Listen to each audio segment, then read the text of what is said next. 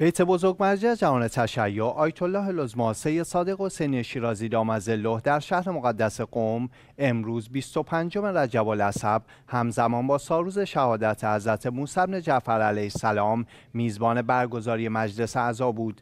این مراسم با حضور معظم الله و ده تن از علما، فقها، خطبا، روحانیون، طلاب علوم دینی، مقلدان آیت الله لزما شیرازی و عموم شیعیان برگزار شد. گفتنی است این مراسم در دو نوبت صبح به زبان فارسی و عصر به زبان عربی برگزار شد.